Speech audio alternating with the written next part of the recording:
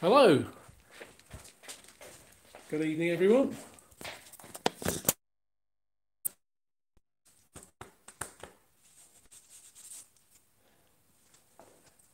Are you with us?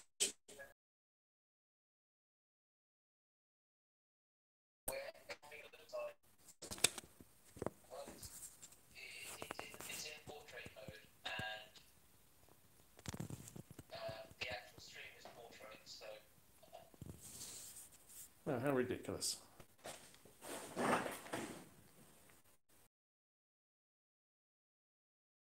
On my to hold the phone the other way up.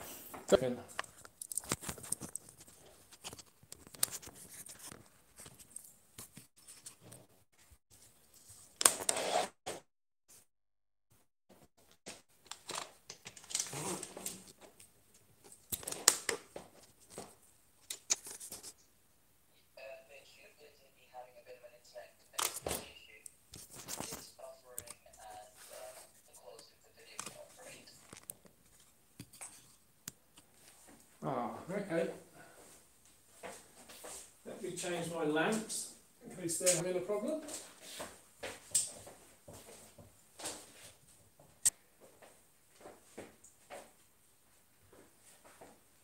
Is that any better? Significantly better. Ah, okay, so it was the it was the lamps. Let's hope that works.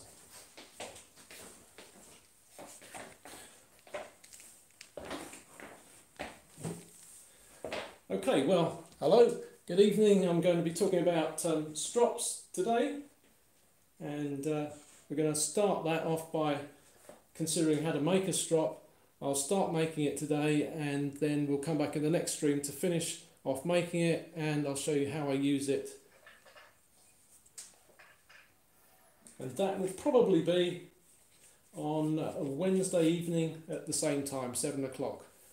Uh, if there are any changes to that, then you'll know when I publish that stream information, which should be by tomorrow evening, so 24 hours beforehand. Uh, after we've done that, I'm going to change focus onto using dimensioned PAR lumber from DIY stores. And I didn't manage to get to a DIY store because they're all in lockdown here, but I've found something which is very similar. This was used in a bit of packing it's got all the problems you'd find with timber that comes from a DIY store.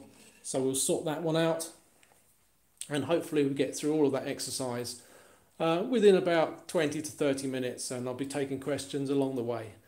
Uh, my good friend Shrenik is um, chatting with me through the internet and relaying uh, the chat that's going through the stream.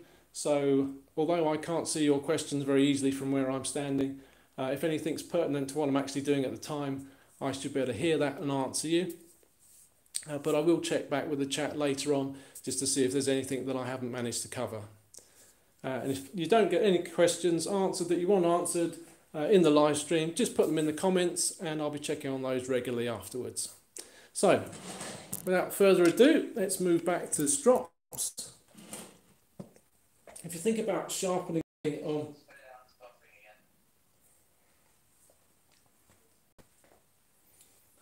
if you think about sharpening on um, stones, uh, diamond plates, that sort of thing, you always end up leaving some sort of scratch pattern and almost always it's slightly visible as well.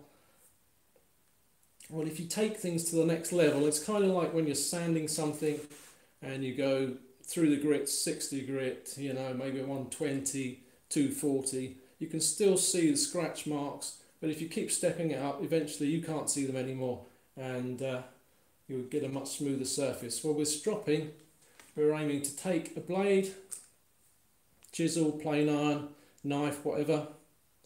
We'll grind a bevel on it.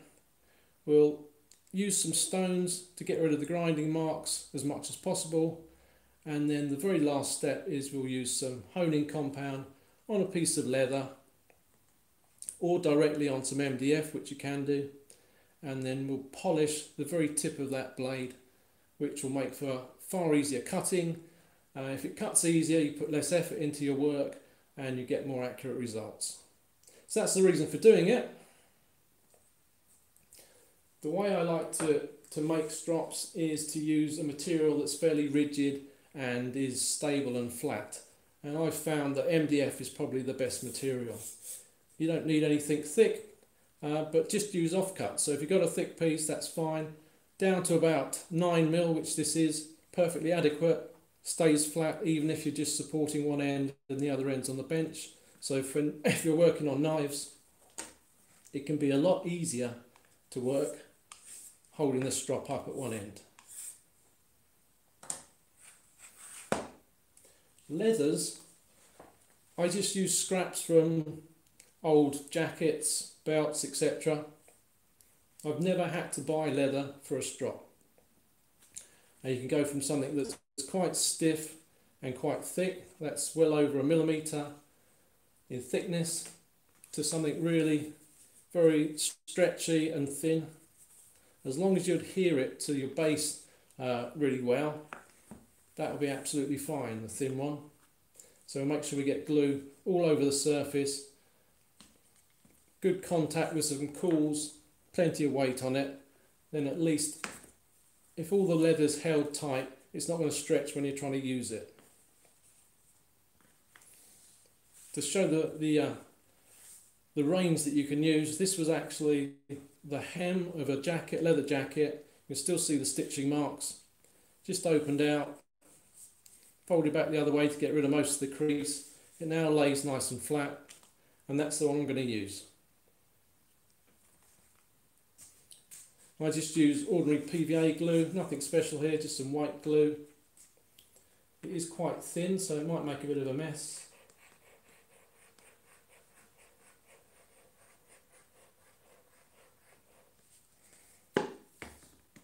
We don't really want humps when it's finished, so we'll spread the glue out.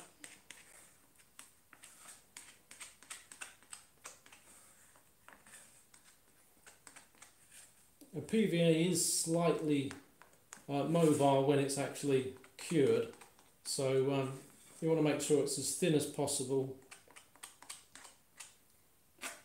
And of course you could use many other types of glue as well. So good coating of the glue, nicely spread out. Take the leather, I always put the, the rougher side up. So the smoother side down, this is actually a suede, so it hasn't got a shiny side to it, but it's, it's a smoother side. Stretch it out just a little bit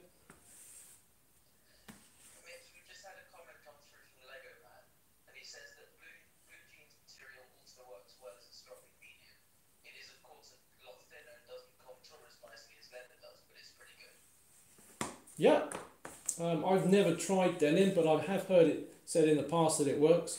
And uh, if you don't like animal products, don't want to use leather, absolutely use that. I, did mention very briefly, you might not have called it at the start, that you can also strop directly on MDF. And uh, that takes away some of the problems that people encounter if they're rounding over edges, um, perhaps thinking that the leather is curling up around the end of the blade and rounding it. If you work on MDF directly, uh, you've got absolutely no flexibility there. So with that on, I put my caul on top, make sure it's covering every part of the underlying base. Just lift off my weight with that and put a heavy weight on top. We'll leave that um, I'll probably leave that like that until we come back on uh, Friday, but I will put it somewhere else. Hopefully that's shown you that actually making a strop um, really simple. There's nothing to it really.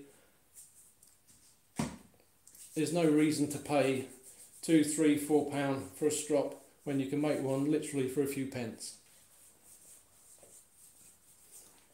Okay, any questions on strops before I move on to the dimensioning of PAR? Just a question from me. Uh, why do you put weight on it rather than clamping it? Uh, it's easier. Um, if you've tried to clamp things, I'm sure you find glue slippery. Um, some cases you do need the pressure of um, clamps to, to really pull things up tight together like joints. Here, the leather's flat, the two surfaces, the, the actual base for the strop and the, um, the caul that I'm using, both nice and flat. So really just what this is, which is perhaps a kilogram, just make sure things stay together until, uh, until it's set up. But you, of course you can clamp it if you've got no weights. In fact, with a thicker leather, like this, you could actually just staple it on at each end. Okay. Well, we've had another question come through about strops. Is uh, what do you use the strop for? Removing the burr or for pol- polishing the edge? Okay, uh, that will depend on the metal you've got. Uh, when you finish on um, your finest diamond plate or a waterstone or something, depending on the steel you're using, you will either have a burr left or you won't.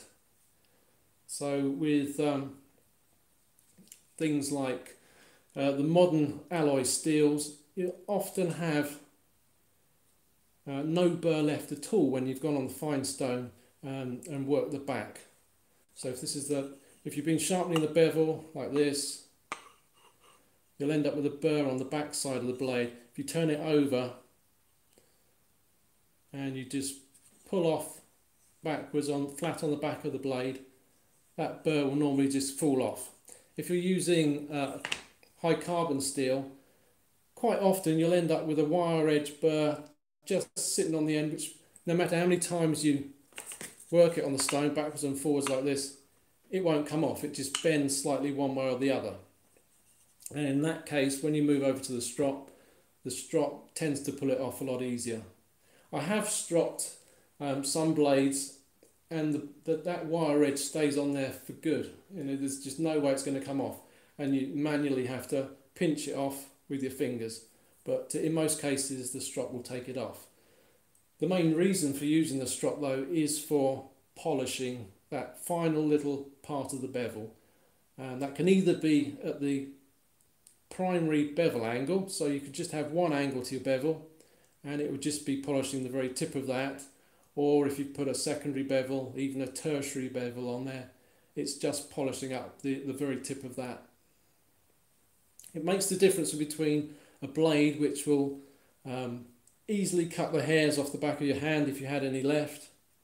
I mean, basically they'll just ping off when it's dropped, whereas coming off a fine diamond stone, um, the usual Japanese water fine stones, it won't take the hairs off the back of your hand that easily. Uh, Japanese water stones do go down to a fineness which is equally as good as using a strop, but those stones are uh, very expensive as well. So most people have what is considered a, a medium and a fine water stone, and in those cases you can improve the finish by using a strop with some polishing compound on it. And we'll talk about polishing compound next time. Basically, it's something to apply to the leather, uh, which is a very fine abrasive. Uh, you put it onto the strop and uh, it helps the polish. Okay, shall I move on? Yeah, I don't think we've had any other questions. Uh, the only thing is, uh, next time I ask a question, could you repeat the question? Uh, because people in the chat are finding it difficult to move on?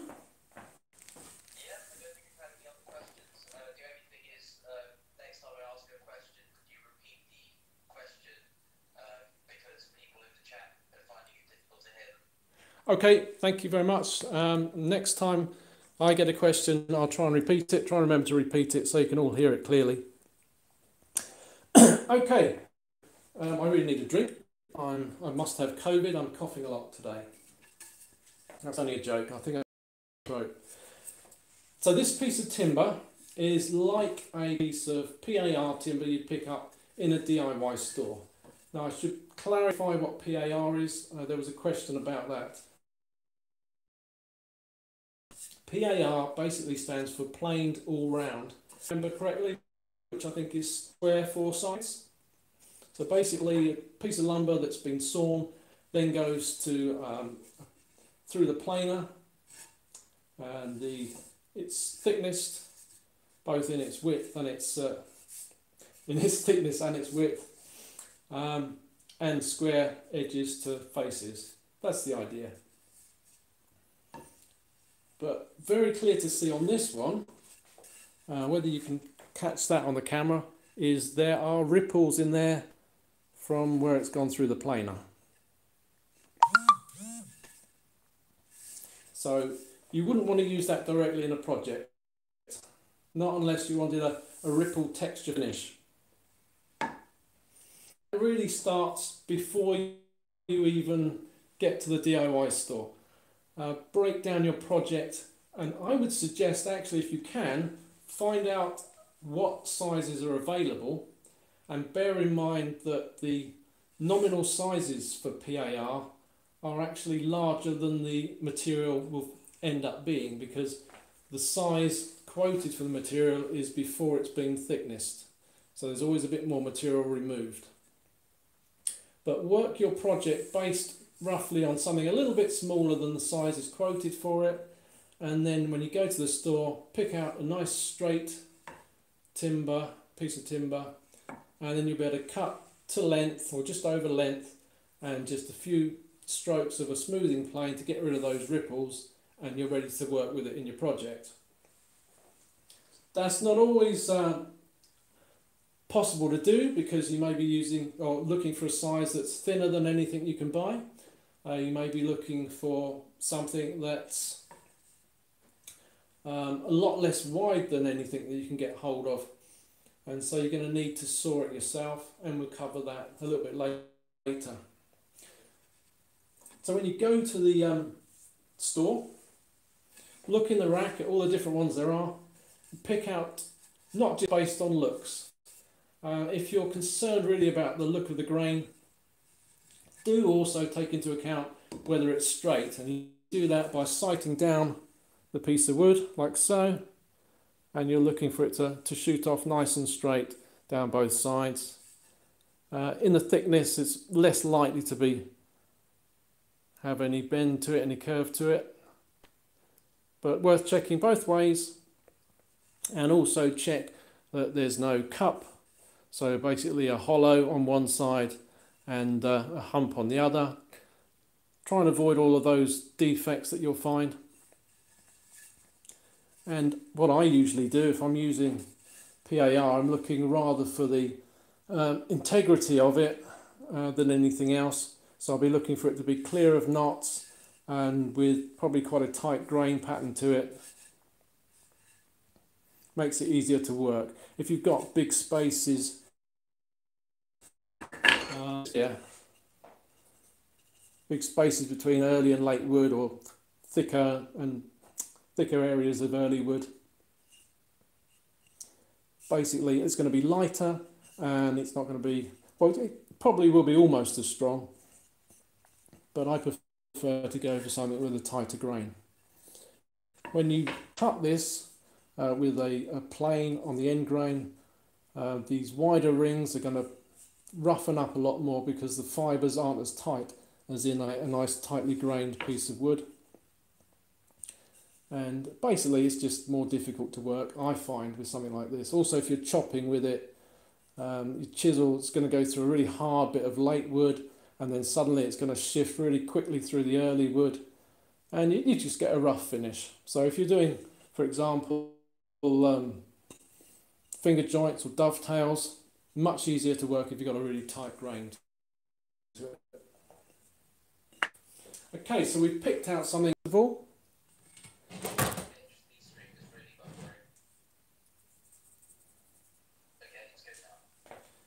So I'd reach for a smoothing plane to get rid of those ripples.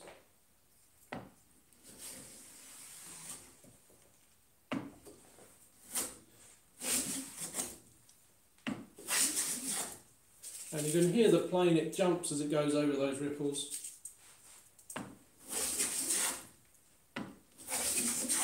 And it's jumping because it's not quite flat.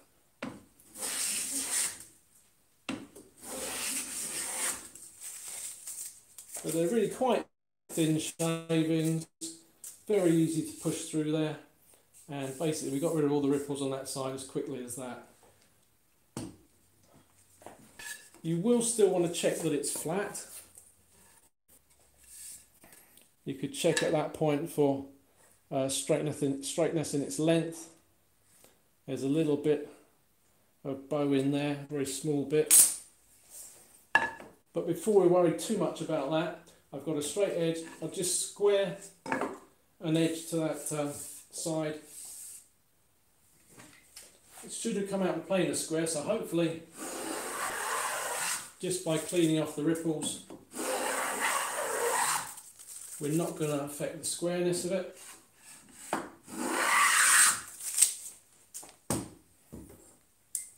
But we'll check that anyway. So that's looking good. So we've got a nice flat smooth edge and face, side. We can then take our dimensions off. Now the other thing I'll say is if you're getting more than one length out of a piece of your lumber, I'd probably split it down as long as those lengths are, are longer than about a foot or you know eight, nine, ten inches or longer. Cut it down first because if you've got any slight um, bow in the wood, you can be shooting that bow to try and get rid of it for a lot longer if you leave it in its full length. So first thing perhaps would be to cut it into the sizes you want. You don't want to go exactly to the size you want because you're going to want to square off the ends. So leave a little bit at each end. You probably don't have to worry too much about uh, splits at the end of the wood from a DIY store. But if I, my component say is 10 inches long,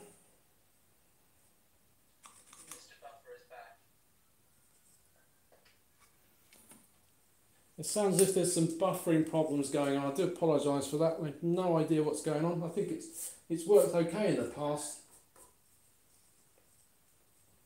So I've got roughly a 10 inch section marked on there, roughly marked. We'll add a little bit at, at both ends and I'll just cut that in half.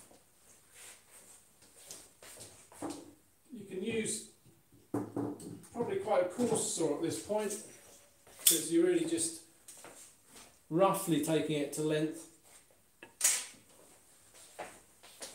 And I shall just grab a little bench hook. Can you see at this end of the bench? Not quite.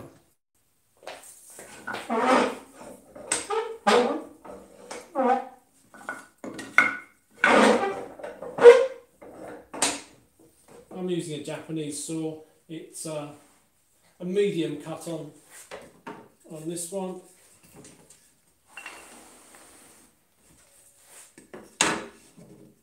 And you'll see I'm, I'm not putting any knife wall on there. If you've heard of a knife wall for rough cutting, you probably don't really want to bother about that.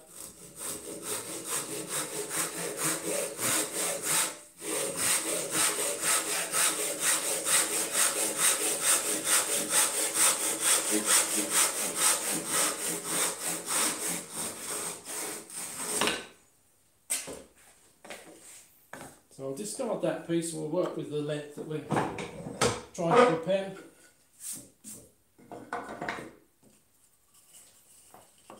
So we have this length, it's a little bit longer than we want, uh, it's a little bit thicker uh, and a little bit wider. So how do we get to exactly what we want? We'll leave the length till last. We've got the nicely flattened and smooth, almost straight I think we said.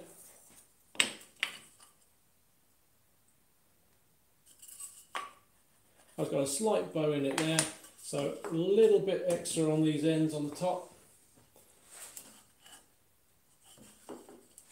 So I'll just take some stop shavings from the ends.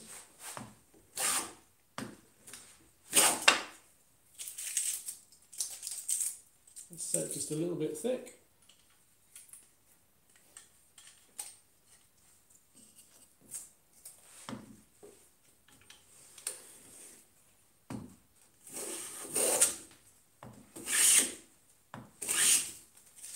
stop shavings at both ends, just took a bit of height away, a couple of sets of through shavings.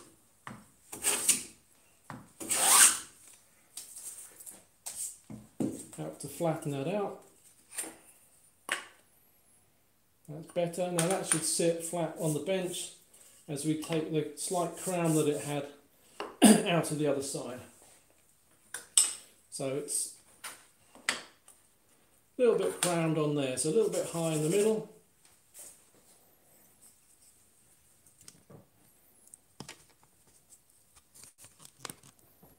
It's a little bit high in this area, so we'll take some shavings just in the middle.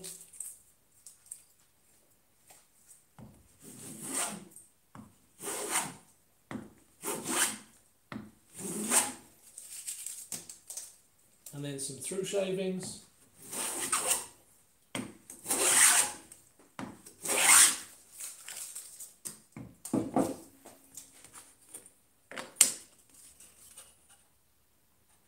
That's looking nice and straight. I'll wind my iron back and just smooth that side as well.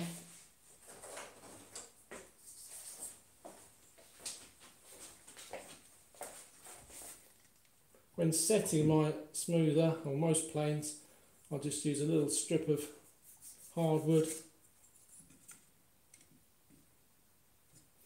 just so I can gauge the position of the iron which is very slightly cambered.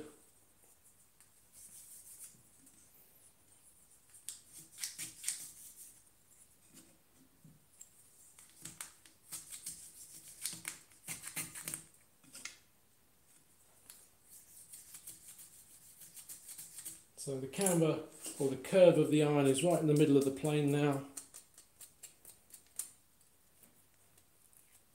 And it's taking a thinner cut. And what I'll do is I'll take a, a shaving or th three sets of shavings working across the board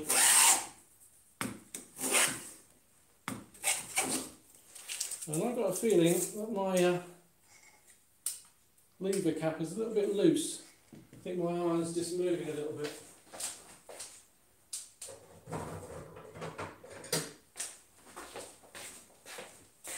I sharpened it before I started and on this one I have to actually screw the lever cap screw down each time.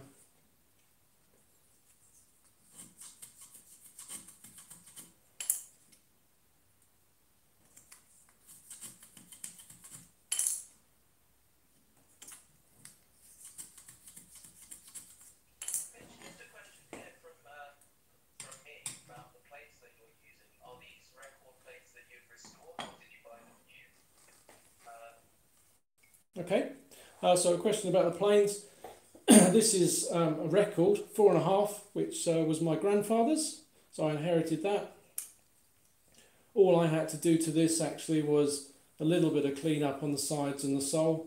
He'd taken a lot of care of it and it was it was pretty good condition. The uh, number five here, which uh, I haven't used this one yet, have I? I was going to use this to shoot the ends later. It came in pretty poor condition, I think, this one. I've got three number fives. I think they all came in reasonably rough condition. So I, uh, I've cleaned up the sides and the sole, made sure they were square or as square as could be to each other, and uh, fitted the frog a little bit better than they did at the factory. Uh, I do have videos on, on doing that. In fact, specifically probably for that number five. So hopefully this will behave itself a little better now.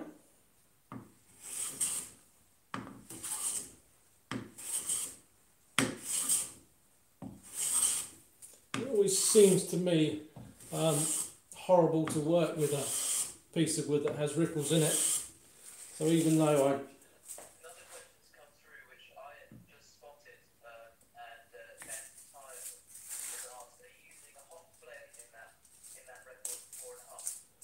Am I using a Hock blade? Yes, I am. Yeah, I didn't mention that, did I?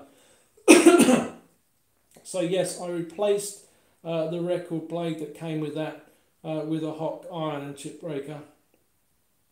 So actually it has been pimped a little bit, if you like. But on the number five, uh, you should see that's a standard Stanley blade. And as long as you get these things nice and sharp and keep them sharp, they do very good job. The Hock I think holds its edge a little bit longer um, and it can also I can also get it as keen an edge as with the Stanley. Stanley blades can be got very keen but tend to lose their edge a little bit faster.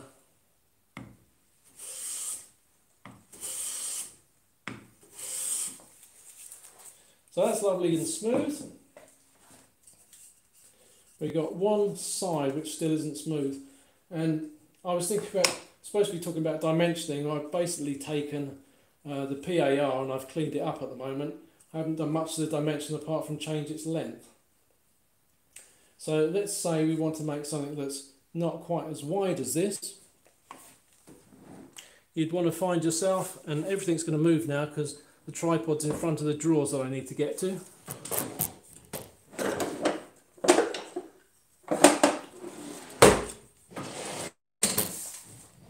Okay, I hope we're back on track. Um, I would probably use now a pencil gauge to mark the width. If it's wide, if I want to take more off here than uh, perhaps a quarter of an inch, it's probably worth sawing it rather than planing.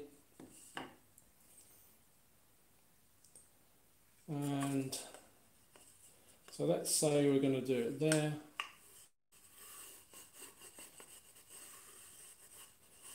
Mark it with a pencil. I'm marking that a little bit wider. So this measurement here is a little bit wider than I want, but uh, fairly close so I can creep up to the the actual dimension using a plane. So now I'll take that back to the vise in this case. I think that'd be the easiest one to saw it vertically with a Japanese saw.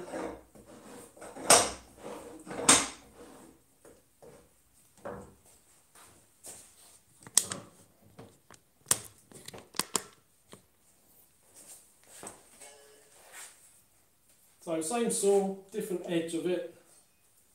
So we have cross cut and rip teeth on here. Starting a rip cut with uh, these large teeth can always be a little bit of a challenge.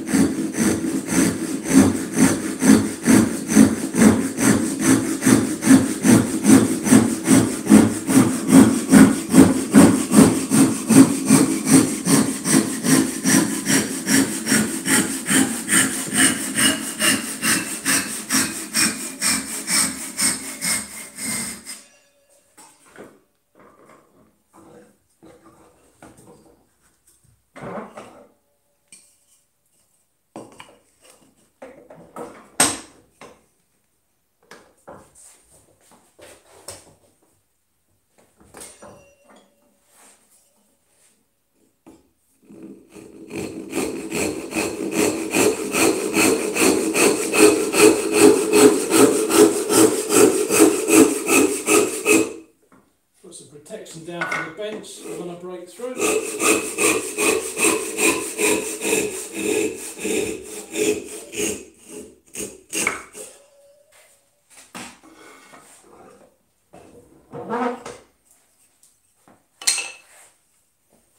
So, it was a rough cut. I haven't met exactly in the right place, but because I've kept it shy of what the finished thickness, I can now plane down and bring that surface nice and level. And actually I'll use this number 5.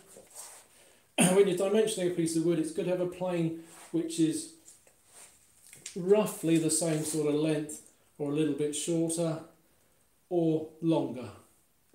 Doesn't make any sense, does it? It's, it's good to have a plane which is almost as long or longer rather than one which is very short. So I could easily do this with a number 4 or 4.5, but I'll do it with a number 5. I want to bring that down roughly square. I can see it isn't at the moment.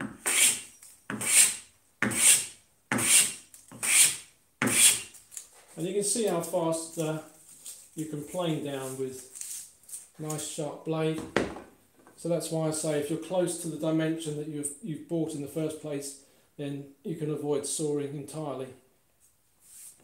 When I get to this stage, I will set the width using a cutting gauge, which is a knife poking through here. You can use a, a marking gauge as well, but that would have a pin rather than a blade.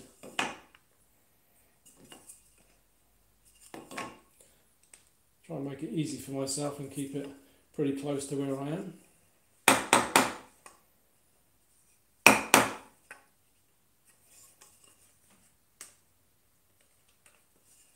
Mitch, while you're doing that, um, free client asks, can you recommend a reputable diamond honing plate for a natural for natural sharpening stones? And he also notes that for future streaming, um, if you start the stream with the camera horizontal, you'll have the widescreen aspect ratio. So basically, it would have been widescreen rather than portrait. And if you started the stream with your phone. Okay, good. Question through. you have to repeat the first one, Shrenik, but uh, the second point was if I started the stream with the camera horizontal, it would have remained uh, horizontal for the stream rather than going portrait mode. Um, I tried to actually, and you might have noticed the stream was a little bit late going to air. I was trying to start it with the camera horizontal and I was having problems, but I put the camera vertical. I was still having problems. Is that right? I think that was right.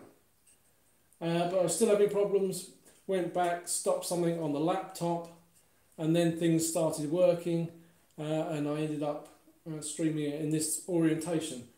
I'm not sure if turning it around at the moment will make any difference. What do you think? Anyone? I Prob- think if you, it wouldn't make any difference now. Um, it, if you start the stream. Okay. We'll try that next time for sure. To repeat the initial question was, can you recommend a reputable diamond honing plate for natural sharpening stones? Honing plate for natural. A diamond plate to hone natural stone.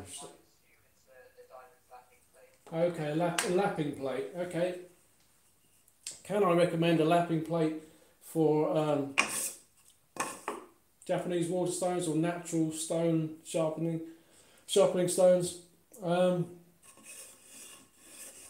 I've only tried one, so it would be unfair for me to say it's the best one. And there is a review of it on my channel, so I would suggest you look at that. Um, I haven't used it since I did the review because I, I haven't needed to. And as I say, I haven't tried other ones, so I'm not going to say that it's the best. It worked, that's all I can really tell you. I can tell you the name, I think, pretty quickly. Yeah, the name of it was Mafalo. M A F F A L O. And uh, yeah, that did the job. But uh, I also believe coarse, any coarse diamond plate would do the same job as well. Okay, before I go around with the cutting gauge, I'm just going to check for square on all the edges. And it is slightly off square, so let's just square that up first.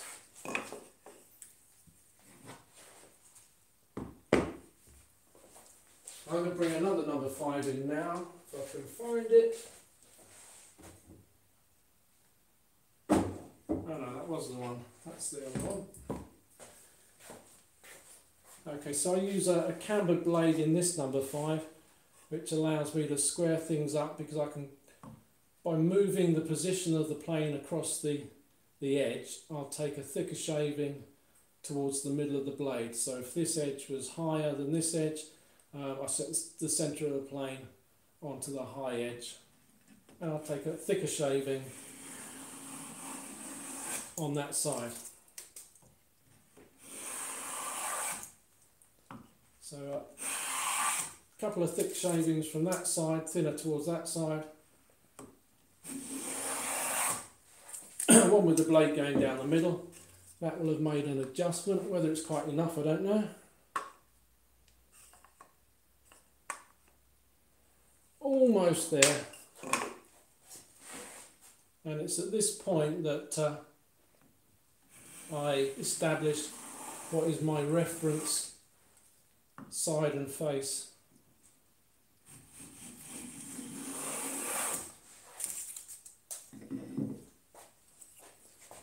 So I'm checking off this face side against that face edge and they're square. So I'll just put a mark on there to remind me they're my reference faces. So now I'll check thickness from here to here and remove any extra thickness from this side and I'll check um, width from here to here removing the excess from this side. So with my gauge set to the width I want, make sure I've locked it down, I can gauge that round.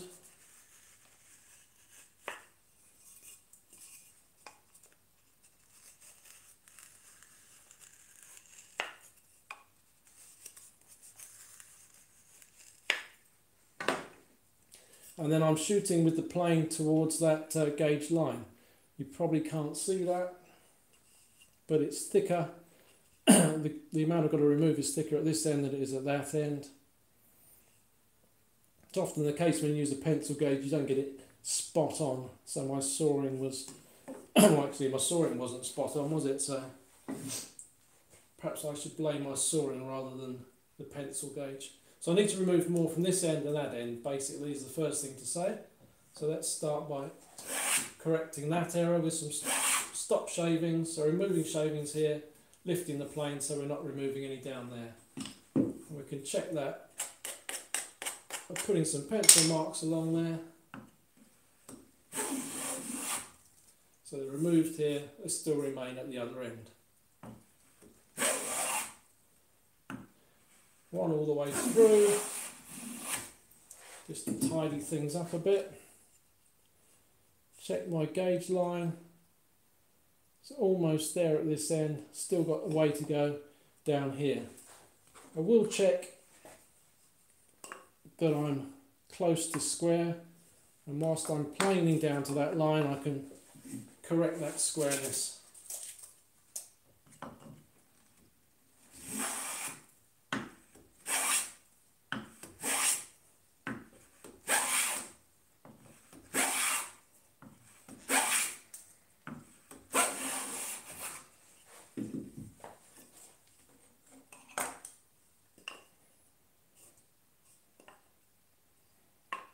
It's now virtually square. I've got very small amount to remove this end. There's still a little bit more to remove at this end.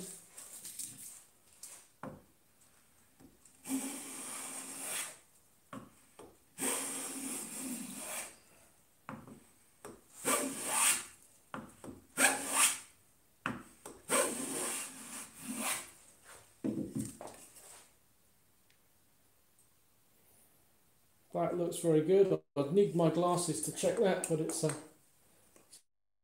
uh, it looks good. It's square. Grab the old glasses.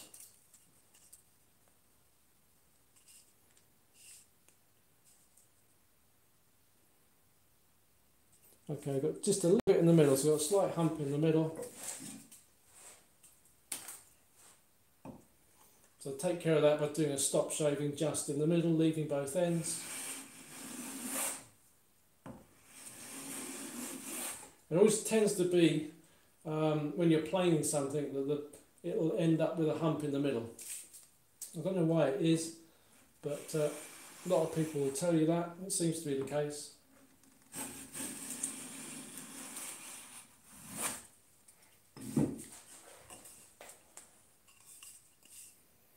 Okay, that looks good.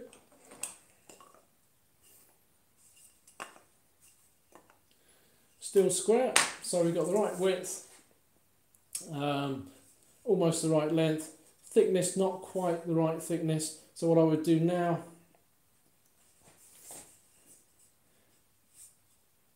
probably just plane down to, to where I want to get to, depending on how thick it is. But remember, we've selected the timber to be close to what we want, so I'm going to assume that we really just want to take a little bit off in the thickness.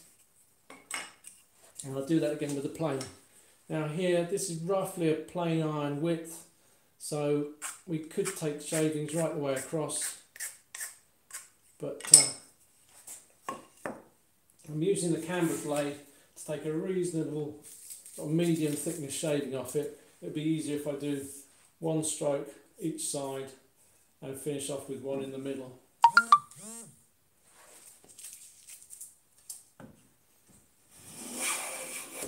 Now thinking about planing direction as well, I haven't bothered too much with this. It's um, planing reasonably well in either direction. The easiest thing that I would recommend is try planing it before you get anywhere near your finished dimension and find out which way it planes best. And then stick with that unless things change.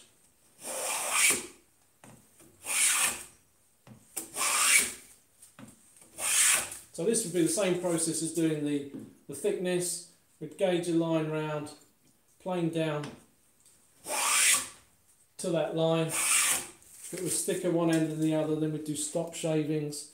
If it was humped in the middle, stop shavings, leaving both ends. And we'll assume now that we've got to the thickness we want, the width we want, and now we just need to tidy up for the length. This is where a marking knife comes in with the set square using our reference edge. So we'll tidy up one end first. We know roughly how much excess we've got.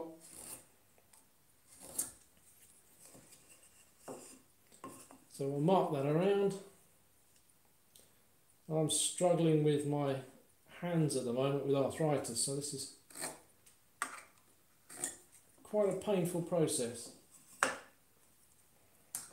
Remember to always use the, the stock of the square on one of the reference faces. If you've actually thicknessed and uh, squared up the edges as you've gone, it really shouldn't make a difference. But uh, if you've got a slight error in there, you might find out that, find out that when you get round with your marking line, it doesn't actually match up.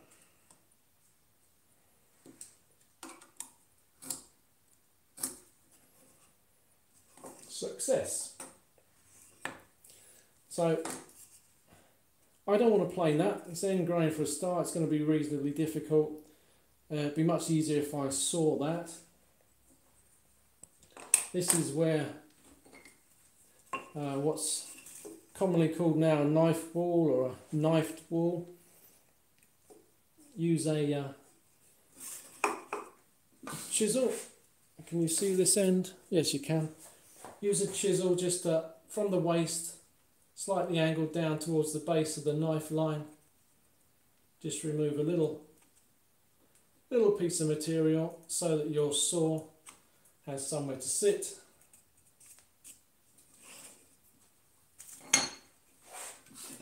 I'm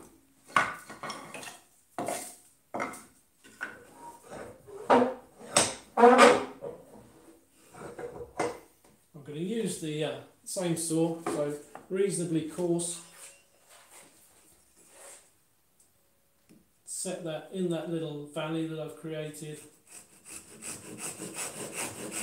I start by leaning it um, towards, oh, away from the waste, towards what I want to keep, very slightly until I've started the cut, then square it up. That makes sure there's no chance of me cutting into the material I want to keep.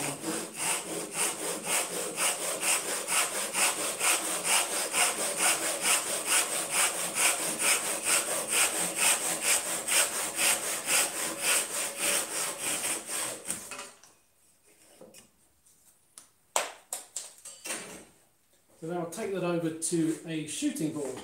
A shooting board is basically a bench hook which uh, allows you to use a plane against the side of it. The plane sits on its side. The blade is set nice and square to the sole, so nice and square to the sides of the plane. So when the plane is on the bench top, the iron is facing vertically up. The workpiece sits against the hook, or what we call a fence in this situation. The plane can either ride on a, a board that's underneath or part of the shooting board, or as I do most of the time, uh, directly on the bench. What we do is we put the plane up to here, we prepare the shooting board um, by running the plane along the side of it several times. The plane can't obviously cut where the iron doesn't exist down at the bottom, so there comes a point where the, the sole of the plane stops it cutting any further in that direction.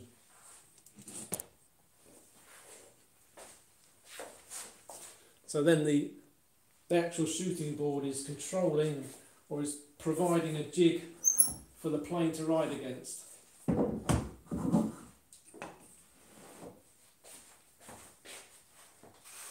So we work against the fence, push it out. The fence should be at 90 degrees to the side of the, the shooting board and you'll see I've got a little bit of paper in there. Over the course of the year, sometimes you get a very slight deviation in that squareness and with a piece of paper I can either shift this end out a bit or I can shift that end out on the work a bit to correct for any slight irregularities in the fence. So no need for an adjustable fence, just a piece of paper.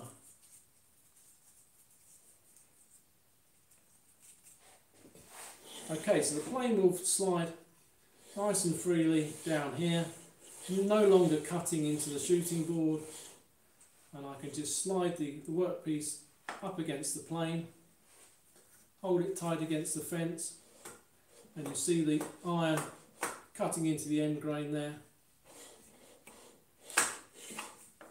Keep feeding the work in with each cut.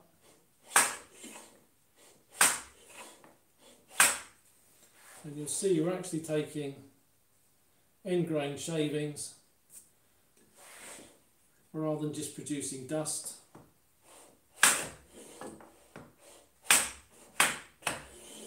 Once we get all the way across, which again you could check with pencil, so put pencil all the way along there. Once you're taking a shaving that covers the whole of that area,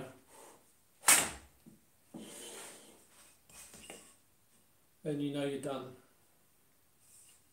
Actually, you can see I've set my iron slightly, slightly proud for this shooting board, so it's just touching the end of the fence. Now, what did I do with my square? Oh, check for square. See, that's lovely. Should also be lovely that way. And then all we need to do for this component is to do its actual length. So we'll take steel rule, always the best device for doing this sort of thing.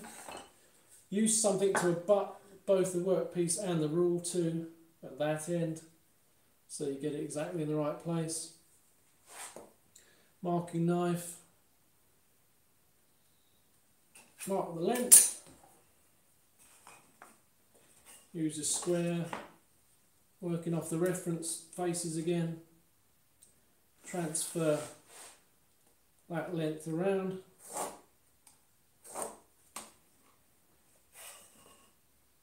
And I'll say it's probably not necessary to mark all the way around because you're only going to saw from one side but actually you're cutting the fibres with the knife which is cleaner than sawing and if if you ended up sawing this, having not cut those fibres, and you broke out a few fibres underneath on the back side of the work, you're going to be pretty annoyed with yourself. So just remember, just take that little bit of time to mark all the way around.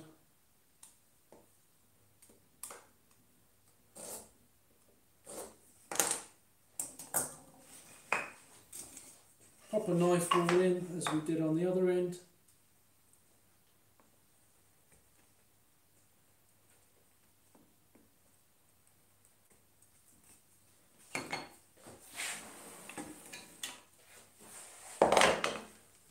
Back to the bench hook, back to the saw.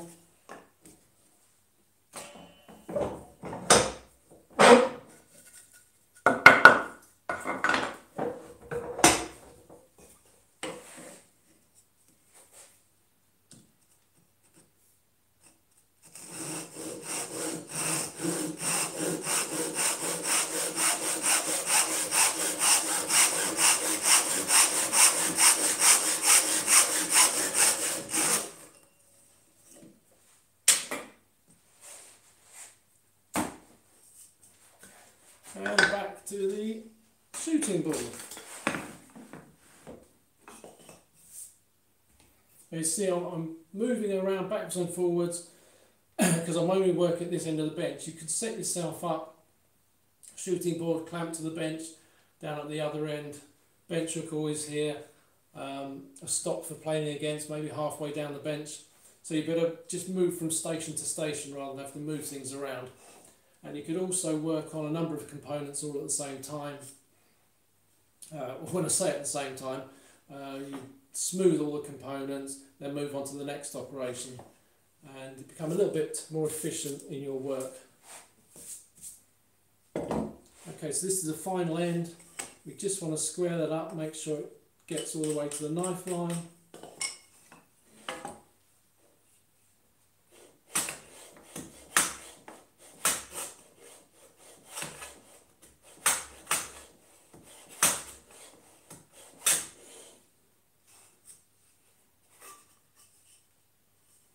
Okay, to the knife line, nice and square.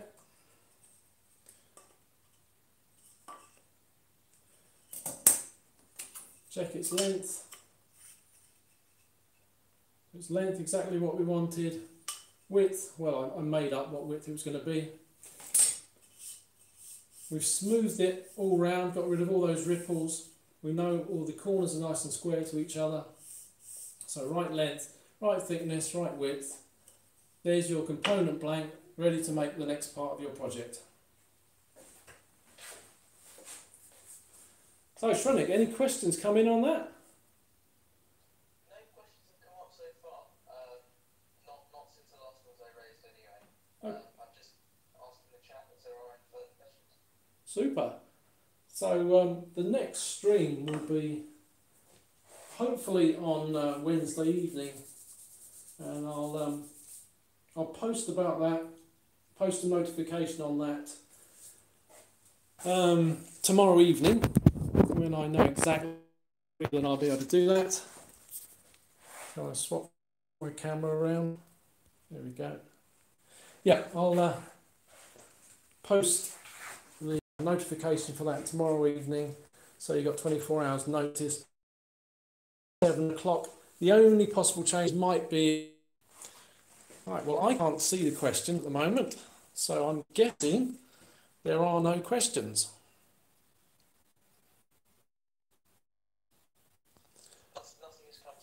Okay, well, well, Shrenik, you were the one who suggested dimensioning PAR lumber. Live stream I did uh, a couple of days ago, saying that I was going to do live streams throughout the uh, the lockdown here in the UK. Um, if you've got any subjects that you'd like to do, right? Well, I'm waiting to hear back from some. I don't know how to pronounce it. Tommy 4K. Exactly what he meant by his question. Something about a secret um, secret dovetail draw. Uh, I didn't know whether he meant a secret mitre dovetail draw. Assume he means a secret mitre dovetail. So, uh, do, do you know which joint I know, I know that. Yes. Um, I'm not sure that's suitable for a live stream. That'll take rather a long time to do, but I can talk about it. I've still got a demonstration joint, which I believe is uh, able to be disassembled and shown. You, you could do the impossible dovetail, or you could do the rising summer it is. Do you know how many of those I've done? well, let's just say you could count it on my thumbs. so yeah, I mean that's a possibility. I can always uh, give that a go. Uh, it may end up being a bit of a laugh, but uh, the the one I did for the video, which was the second one I ever did, uh, came out all right. So why not?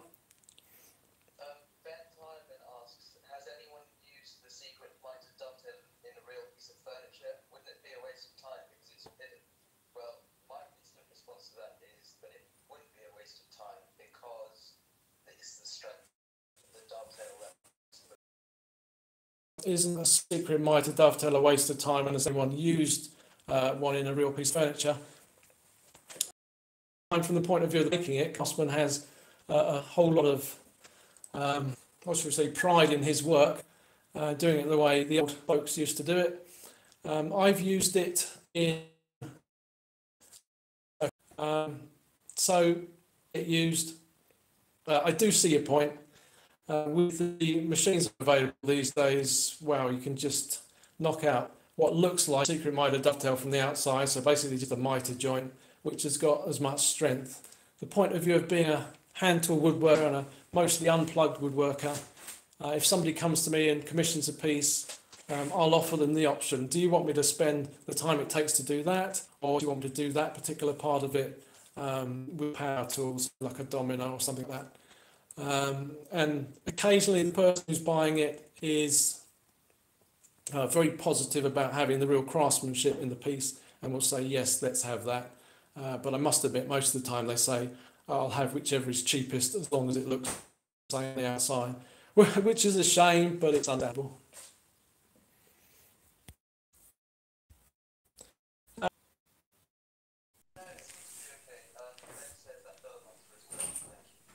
understandable. okay, jolly good. Uh, I'll move a little bit close to the house, so maybe the internet will get a bit better. Um, no suggestions on there tonight then for the next video or one in the future. And that made life really easy for me. There's nobody got any questions, nobody's got any suggestions. Uh, then I can just come on and say hello and goodbye and go and enjoy the rest of my evening.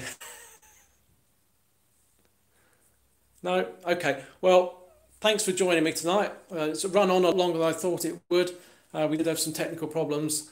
Um, I am really new to this, as Shrenik can uh, can vouch. And so far, I think we've always had one problem or other. Uh, but one of these days, we'll get it absolutely right. So thanks for all for watching. Thank you so much, Shrenik, in passing over the chat messages to me. And uh, see you all again next time. Cheerio.